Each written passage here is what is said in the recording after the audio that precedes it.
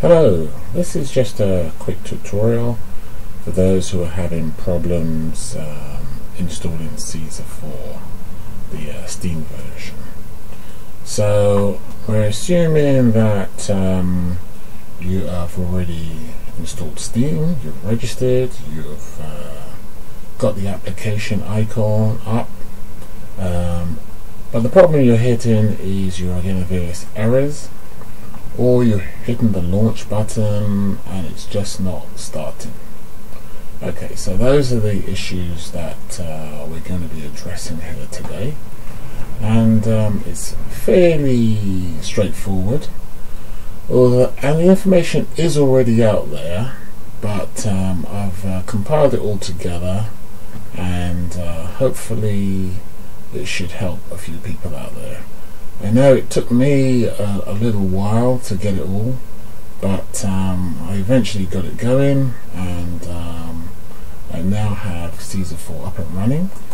Now this is the, as I say, this is the Steam version, so you don't uh, need any CDs as such. You've obviously gone onto Steam, and as the icon shows here, you've uh, got it at least installed at this point. Now, okay.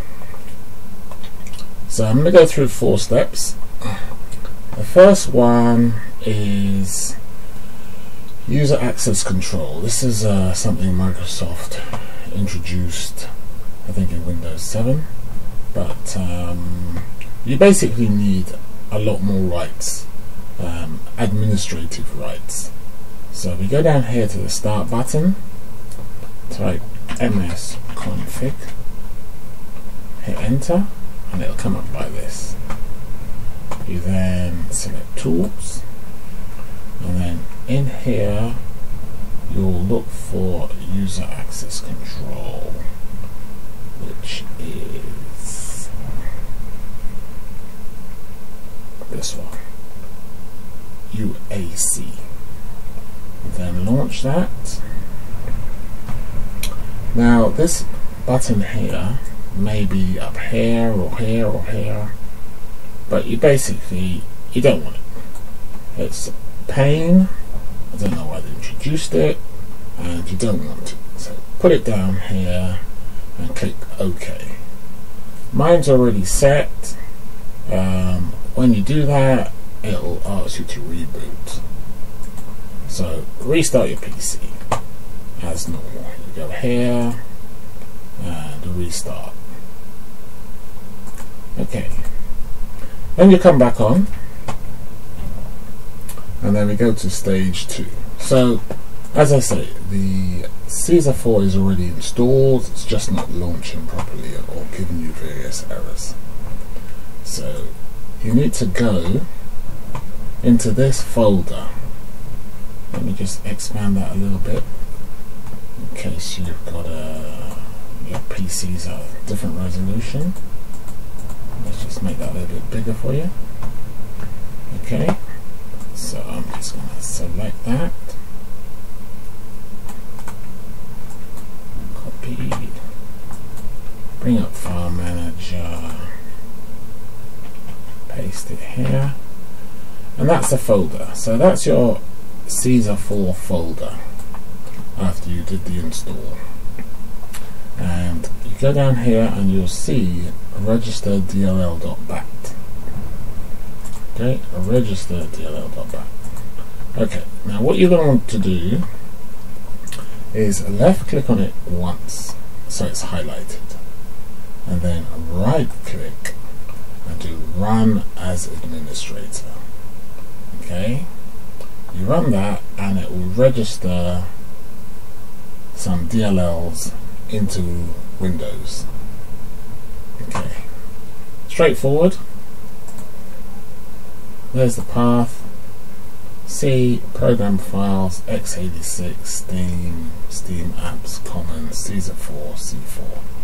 Now your path might be different if you've installed it in a different location, but I've left it as the default and that's where it will be for certainly for the English version. I don't know if it's different for different languages, but um, I'm sure you can work it through. I will then restart your PC. Um, you may not need to in this instance, but you know it's always good to restart your PC just in case. For some people at this stage, they will launch Caesar 4 and it will be working. Okay. Um, we've still got a couple of more other steps for those who find it still not working. Okay. The third one is back in the same folder again. You'll see you've got the Caesar 4 um, executable application. You right click on it, so you're using the right button, and then you look at the properties. Down here, properties, and in here, the second tab, compatibility. Now, I've set mine to run this program in compatibility mode for Windows XP Service Pack 2 you might use Service Pack 3 or there might be a different version but that one works for me so I'm happy. And then click OK and then try and launch it at that point so I've, I've got I've done a tick run this in compatibility mode for Windows XP Service Pack 2 you don't need to reboot your PC um, you should just try and launch it and see if it works for you. Um, as I said, it didn't work for me, and uh, I had to go to step four. Okay, so step four download and install DirectX. This is the uh, end user runtime. Okay, so let me just copy that and we go on to let's say here we go I can I can do it in a new tab but it will come up to the same place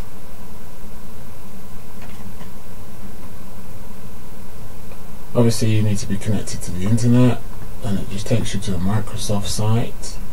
Microsoft and then here you've got the download and this is what we're looking for. DirectXC end user runtime. Now if you've got Caesar 4 in different language you may need to select a different language for your DirectX um, if not if you're using the English version I suggest just leave it on the default hit download. And then you'll have a file here so save and I'll save mine to the downloads folder here. Save that. Okay. So now that I've downloaded it I need to install it okay so let me go to my downloads folder. Here we go. Highlight that. Right click run as administrator. And that will install the program.